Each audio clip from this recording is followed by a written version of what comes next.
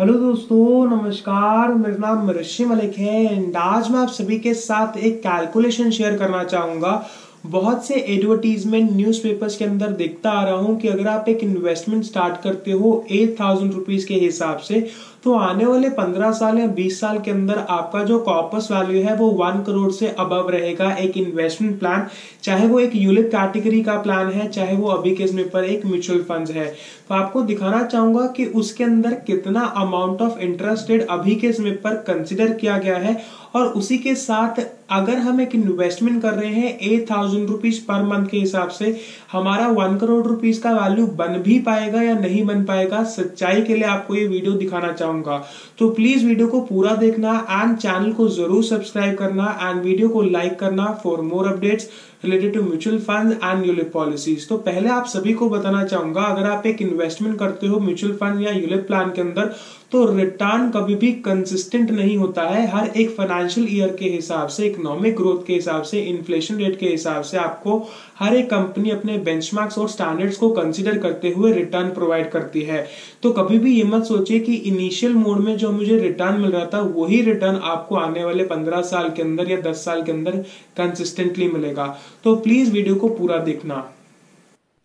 अब मैं आप सभी को दिखाना चाहूँगा एट थाउज़ेंड रुपीज़ की अगर आप एक इन्वेस्टमेंट करते हो तो उस केस में एक करोड़ रुपए का वैल्यू कैसे बनता है आने वाले दस से पंद्रह साल या बीस साल के अंदर?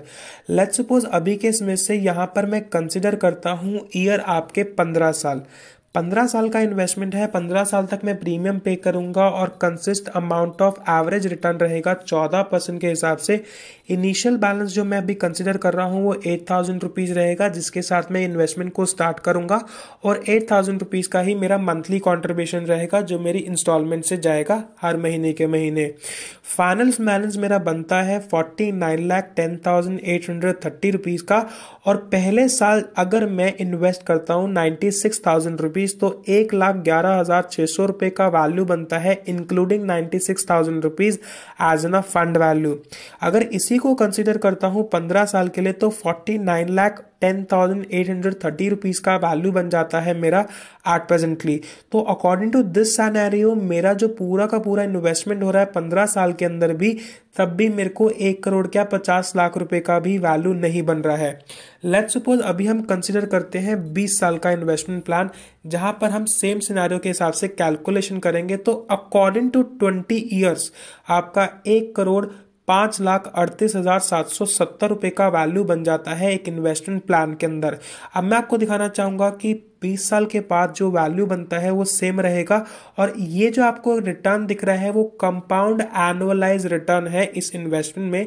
जहाँ पर आप 20 साल तक पैसा पे कर रहे हो और 20 साल तक आपको जो कंसिस्टेंट एवरेज रिटर्न मिल रहा है, वो 14 परसेंट का है इस प्लान के अंदर। अब मैं आपको एक सिंपल सा कैलकुलेशन देना चाहूँगा। अभी के समय पर एट थाउज़ेंड रुपीज़ आप इन्वेस्ट कर रहे हो। एक साल का जो इन्वेस्टमेंट हुआ, वो छियानवे हज़ार का हुआ और बीस साल का जो इन्वेस्टमेंट हुआ, वो उन्नीस लाख बीस हज़ार रुपए का हुआ आपकी तरफ़ से, जो आप इन्वेस्ट कर रहे हो। और according to that one crore five lakh thirty eight thousand seven hundred seventy rupees का आपको कॉपस वैल्यू बन रहा है इस प्लान के अंदर। आपका पैसा जो रहेगा, एक उन्नीस लाख बीस हज़ार रुपए का जाएगा, इसे याद रखिए रखिएगा। नाउ मैं आपको बताना चाहूँगा कि किस तरीके से आपको इन्वेस्टमेंट करना चाहिए कि जिसमें 19 लाख रुपए से कम पैसा लगाकर भी आपको सेम रिटर्न आए। तो यहाँ पर लिख के आ रहा है power of compounding ICICI Prudential life हम इसको ओपन करेंगे। ओपन करने पर मैं आपको दिखाऊँगा I want to invest same amount डालूँगा यहाँ पर eight thousand rupees on a monthly mode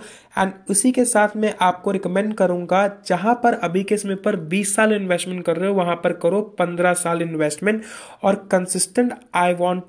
I will stay invested for twenty years यहाँ पर डिफरेंस ये है कि मैं प्रीमियम जो पे कर रहा हूँ, वो पंद्रह साल के लिए पे कर रहा हूँ और प्लान के अंदर जो बना हुआ हूँ बीस साल के लिए बना हुआ हूँ। So according to eight percent जो मेरा वैल्यू बनता है forty lakh ninety five thousand rupees जो बहुत कम रहेगा। अगर मैं इसको कंसिडर करता हूँ अभी के समय पर फोर्टीन परसेंट के आधार पर तो चौरानवे लाख चालीस हज़ार रुपये का वैल्यू बन जाता है। जहाँ पर पहले मैं एक इन्वेस्टमेंट में उन्नीस लाख बीस हज़ार रुपये दे रहा था, और अब मैं वही इन्वेस्टमेंट में आठ हज़ार रुपये पे कर रहा हूँ। ऑन अ मंथली मोड और एक साल का है छियानवे हज़ार, उसको अगर मैं गुना करता हूँ पंद्रह से चौदह लाख चालीस हज़ार रुपये पे करके same consistent amount of return बन जाता है। चौरानवे लाख चालीस हज़ार रुपये का average consistent amount of return से 14 परसेंट के आधार से। अगर इसी को आप 18 साल कर देते हो तो उस केस में आपका वैल्यू एक करोड़ करेक्ट बन जाता है। इवन अगर 18 साल के कैलकुलेशन के हिसाब से भी मैं कंसिडर कर लेता हूँ तो उस केस में 8000 thousand into twelve is equal to ninety six into eighteen तो तब भी आपका जो वैल्यू है अभी के समय पर सत्रह लाख अट्ठाईस हज़ार रुपये आ रहा है। तो वहाँ पर क्या था कि अगर आप एक इन्वेस्टमेंट कर रहे हो कंपाउंडिंग कैलकुलेटर वहाँ पर आपको 20 साल तक प्रीमियम पे करके आपका इतना वैल्यू बनता है, जहाँ पर अभी के समय पर अगर आप ऐसे एक इन्वेस्टमेंट स्टार्ट करते हो कि अकॉर्डिंग टू दिस अगर हम एक इन्वेस्टमेंट कर रहे हैं तो हमारा कॉपस वैल्यू भी है जो कम लग रहा है और उसी के साथ हमें जो रिटर्न है, वो कंसिस्टेंट मिल रहा है प्लान के अंदर आने वाले समय के लिए? तो अगर वीडियो आपको देखकर समझ आता है और नॉलेज मिलती है तो प्लीज़ वीडियो को लाइक ज़रूर करिएगा एंड चैनल को ज़रूर सब्सक्राइब करिएगा for more updates related to mutual funds and ULIP policies thank you for giving your valuable time have a nice day दोस्तों. प्लीज़ वीडियो को ज़रूर लाइक एंड चैनल को ज़रूर सब्सक्राइब करके जाइएगा।